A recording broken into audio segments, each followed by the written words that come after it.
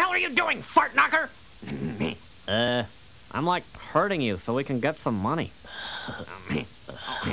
Oh, yeah, yeah. Um, okay, but um, just don't touch my nads.